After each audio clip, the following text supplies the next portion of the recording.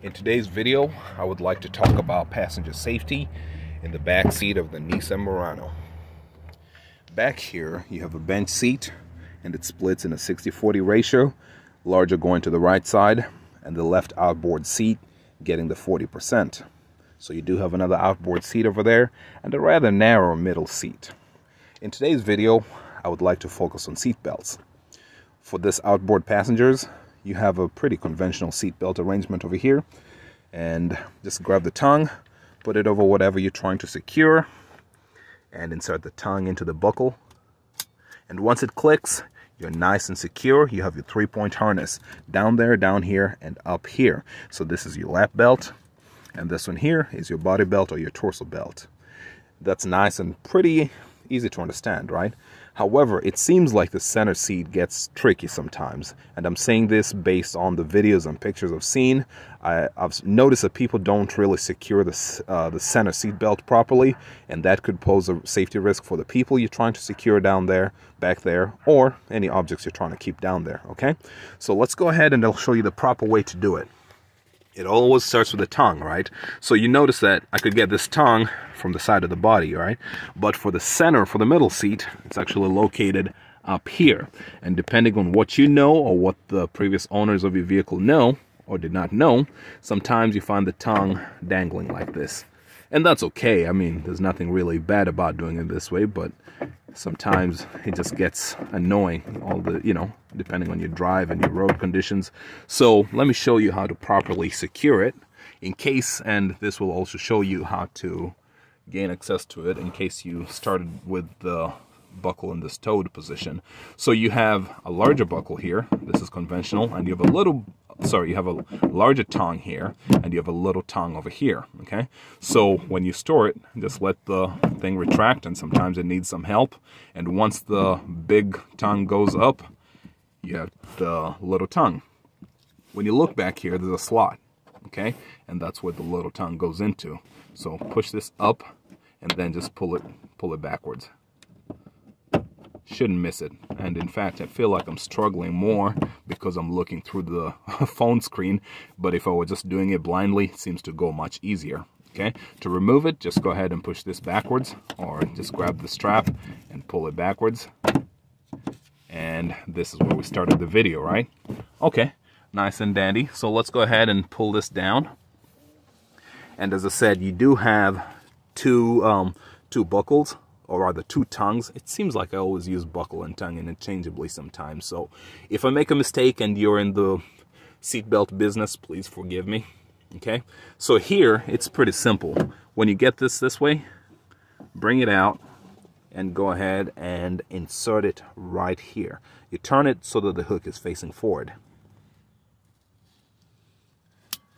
There you go, clicks, right? Nice and easy. And then go ahead and we're going to make this one click into its its buckle. So its buckle is right here. It's hidden. And back in the day they used to make it very evident. The the center buckle usually had center written on it because you know you don't want to make a mistake and sometimes, yes, it can go into the wrong one, but then they crisscross, and again, that affects your safety because now you're loading the seat belts differently than designed. And here you go. This is it. You have your three-point harness over here as well, just like you would over here with this one here. We're going to step back so you can see how it looks arranged. And there you go. None the wiser. It looks exactly the same. And you have pretty much the same features because you have um, ELR that is em emergency locking retractors, right? Whenever you hit the brake so hard, this just locks up, right? But you can extend it all the way nice and easy. Same thing here. If you were to hit the brakes aggressively, it locks, right? But if you're to go slowly, it just does that. And you also have ALR, automatic locking retractors. That's the one I usually um, say that that's the one you use to lock down your seatbelt, uh, your, your car seat, your child car seat as an example. So whenever you extend this all the way out, sometimes you hear it clicking. There you go. And at this point, you notice that it's locked and it won't let go, even if I try to open it gently, right? So you have to go all the way. Now it's unlocked, okay so same thing here you do have the ALR as well go ahead and extend it all the way out. Well I guess I'm getting it at weird angles. There you go. When you hear clicking you know it's locked and there's nothing I can do to unlock it at this point yet. Right? And once it goes back to a certain point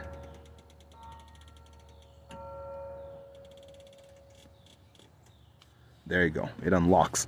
So that's it. So having shown you the correct way to do it let me show you some of the pitfalls of this whole project okay? Or at least things to avoid. And I'll show you the engineering um, design features that have come to counteract those possibilities. So whenever you need to unlock this I would start with that side personally. And then over here you need an object to release this catch right here I usually use the buckle, but I suppose you could use a key or a screwdriver. It just seems very easy to use the, the tongue. See, I called it a buckle again. Just do this. And once you have it there, if I can find it, there you go. It jumps out, right? And then go ahead and retract it. And as I said, you could leave it dangling if it doesn't bother you, or just go ahead and push it up and lock it in. Okay, so talk about um, dedicated buckles for the center and the side. As I said, in the past, I've, I've had cars where it is labeled very clearly. It says center or middle and then side, side or right, left, depending on how how much money they wanted to invest in engraving these things. So let's start with this one here. Let's start with the middle one. The middle tongue, although this one here is not labeled, if you tried to insert the middle tongue on the side, it will not click at all. It does not lock. And even if you turned it and tried to do this, it does not lock at all. So that is one way they have counteracted the possibility of you crisscrossing belts, right? Because there would be a safety, as I said. Once you twist your belts and you're loading them in a different direction than designed, that's a safety concern over there. This one here, we're going to use this one here as an example. By the way, it wouldn't work in here either, just so you know. And I suppose I'll try it just so you know. So it doesn't work in either of the outboard, right? Just so that you don't use it the wrong way. Go ahead and put it up. This one here, the outboard tongues do not work in the center center buckle either. It does not lock. It cannot lock, and even if you turned it around, still does not lock okay? All right so that's cool. That's part one. We're already taking care of that possibility. And here's the other thing. Sometimes if you did not know that this is supposed to go one direction you might try to install it maybe facing backwards with a hook facing backwards. Do you see what you know what I'm talking about? Bring this up. Let me get rid of the flashlight. It seems to be messing up the image. Okay whenever you bring this here and as I said, I just turned it without really explaining what I was doing, but the hook needs to face forward like this, and that's how it locks. If you try to make the hook face backwards, what do you know? Nothing happens. It never it never locks. So again, an engineering design that counteracts the possibility of you installing it in, you know, insecurely.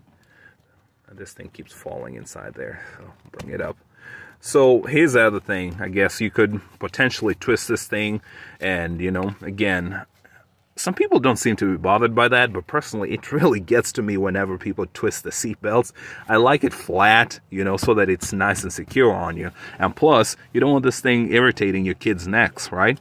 So the other thing is that over here, you could, depending on how you set up, if there was ever a possibility of you getting it twisted, and then going the other way. One way I usually say you could do is just get the tongue from the top, if you have the ability to do this, right? Go ahead and insert this in the in the buckle first, the big tongue first, and and maybe this is where usually a lot of I see a lot of people whenever they in, um, improperly do it. You know, it's a two-point harness, better than nothing for sure. But you know, this one right here, the seat is already so narrow. Like, why are you putting something else to, you know, irritate your kid? You know, to be uncomfortable sitting next to. So, what we usually do, or what you could do, is once you've if you have the space, right, once you've done this, you could go ahead and pull this up this way, right? And now it's nice and flat, and then go ahead and just lock it in. I suppose the one hint I'd say is that the black needs to be facing outwards whenever you have this fully secured. But again, it's not the biggest deal in the world if you were to twist it. It's just that I feel like it gets uncomfortable at that point. I feel like I might end up taking this elastic strap out. As I said, whenever you do this, go ahead and release it. Oh, nice, it jumped. I hope the video caught that. I did not.